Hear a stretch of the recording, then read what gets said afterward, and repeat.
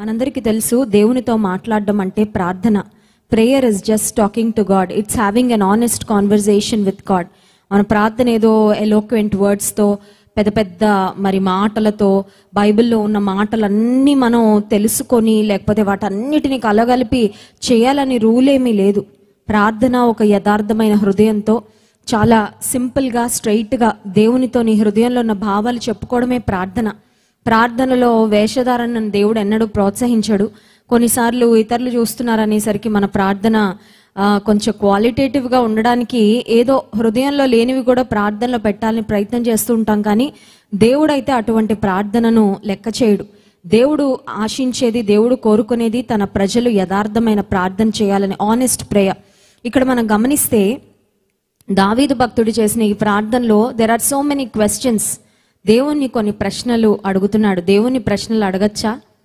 దేవుని can we ask God some questions అంటే భక్తుడు అడిగాడు దేవుడు దావీదు భక్తుడిని కోపగించుకున్నట్లు కానీ శపించినట్లు కానీ నువ్వు నన్ను ప్రశ్నలు అడగడానికి నువ్వు ఎంతటి వాడివి ఏ పాటి వాడివి how dare you ask questions అని దేవుడు అన్నట్లుగా మనకు కనబడడం లేదు.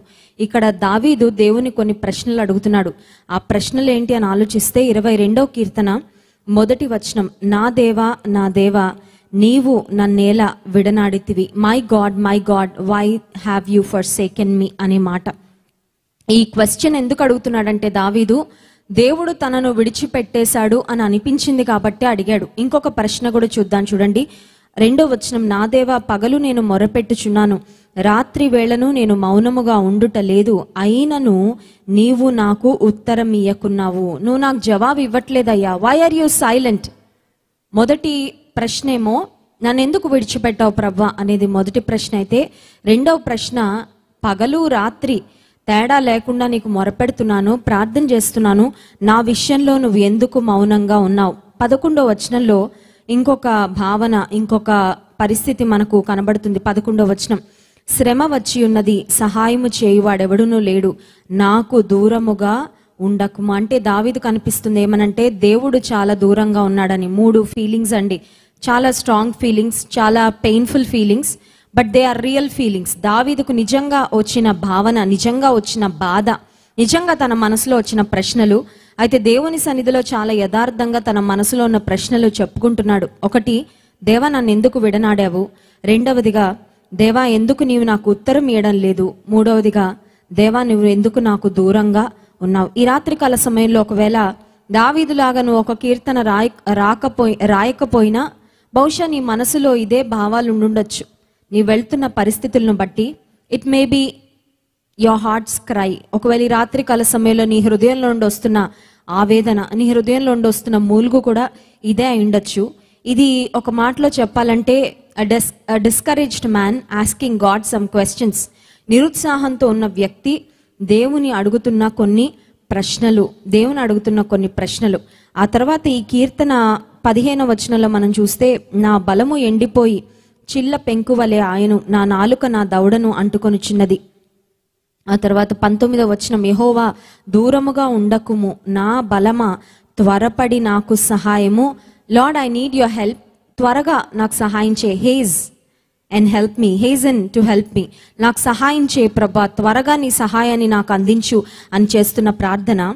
అయితే ఈ కీర్తన చివరికి వచ్చేసరికి ఒక భయంకరమైన బాధలో నుండి ఒక కేక లేక ఒక ఆర్త ధ్వని ఒక మొరను కొన్ని ప్రశ్నలను సంధించిన భక్తుడు ఈ కీర్తన మధ్య భాగం చివరిలోకి వచ్చేసరికి తన యొక్క భాష మారిపోయింది తన యొక్క భావాలు మారిపోయాయి తన యొక్క పరిస్థితులు కూడా మారిపోయాయి.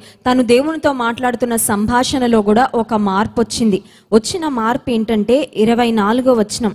ఆయన బాధపడువాని బాధను తృణీక తృణీకరింపలేదు దాని చూచి ఆయన అసహ్యపడలేదు.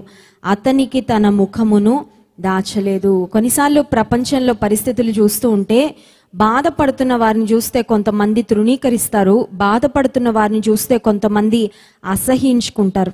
కానీ దేవుడు ఆన్ ది అదర్ హ్యాండ్ బాధపడిన వారిని చూస్తే ఆయన కనికర సంపన్నుడుగా కృపను చూపించాలని సహాయం అందించాలని God will be moved with compassion ఒకవేళ మనుషులు బాధపడు వారి బాధను చూసి తృణీకరిస్తారేమో బాధపడు వారి నిస్సహాయ పరిస్థితిని చూసి అసహించుకుంటారేమో వాళ్ళని అవాయిడ్ చేయాలని ప్రయత్నం చేస్తారేమో అమ్మో ఈ నిస్సహాయ పరిస్థితిలో ఉన్న వ్యక్తి దగ్గరకు నేను వెళ్ళానంటే ఆయన కళ్ళలో నేను పడాన పడానంటే ఇప్పుడు నా దగ్గరకు వస్తాడు సహాయం అడుగుతాడు నా మీద ఆనుకుంటాడు నా టైం నేను వెచ్చించాల్సి వస్తుంది నా ఎనర్జీ నేను స్పెండ్ చేయాలి కొంచెం ఎఫర్ట్ కొంచెం ధనము అని బహుశా ఆలోచించి మనుషులు అసహించుకుంటారేమో అవాయిడ్ చేయాలని ప్రయత్నం చేస్తారేమో కానీ దావీదు భక్తుడు రాస్తున్న మాట ఆయన బాధపడు అని బాధను తృణీకరింపలేదు దాని చూచి ఆయన అసహ్యపడలేదు అతనికి తన ముఖమును దాచలేదు. హలెలుయా